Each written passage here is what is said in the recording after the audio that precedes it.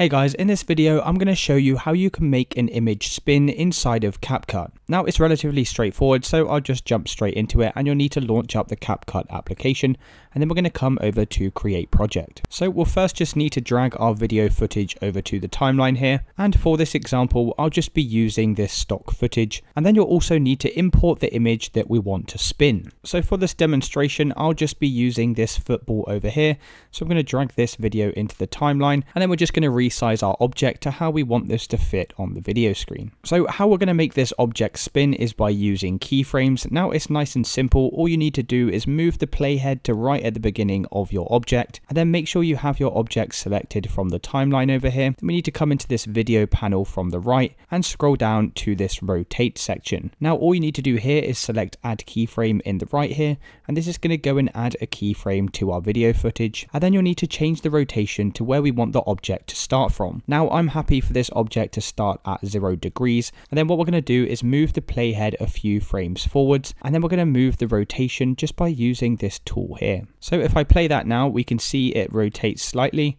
and we can continue to add keyframes depending on where we want this to rotate to. So I can move a few frames forwards and then rotate the ball even further and then move a few more frames and rotate the ball even further. So now if I play that back you can see how it looks. And once again, it kind of starts slow and then speeds up.